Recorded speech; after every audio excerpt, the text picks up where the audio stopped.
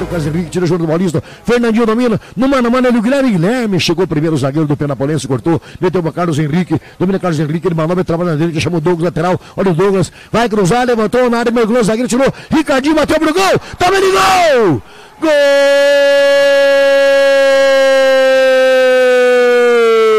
Do Penapolense! Do Penapolense Rio.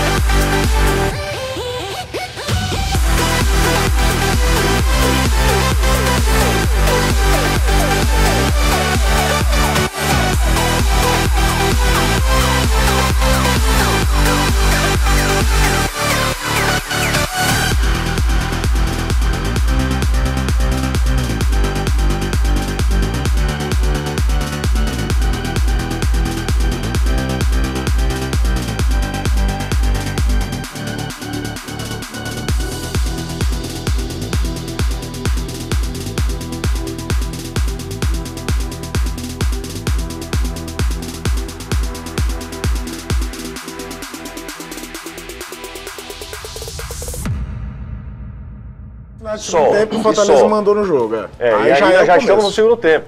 Já Isso. estamos no segundo tempo. Aí o Casa foi pra cima e como o Caio falou, foi um outro time, né? O Douglas acertou Ninguém falou dos goleiros, do- do- ninguém falou do goleiro do Fortaleza. Não, mas também não dá. Mas pô. dessa Essa vez, né? daí. Já autorizado o Douguinha. Põe a bola na área, vem um toque de cabeça!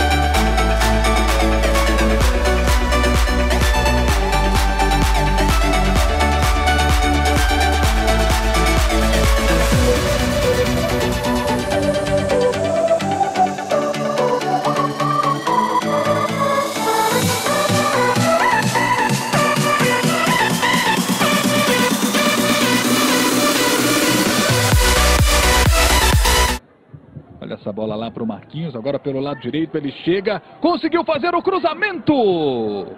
Corte providencial do Douglas. E na sequência a bola saiu para a linha de fundo. É escanteio. Foi uma boa jogada do Marquinhos, o Gilson estava lá.